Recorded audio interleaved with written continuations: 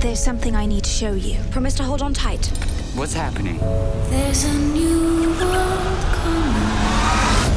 Come meet the others. We're what's known as peculiar. For centuries, Hollows hunted us for our powers. The only thing stopping them from destroying the world is us.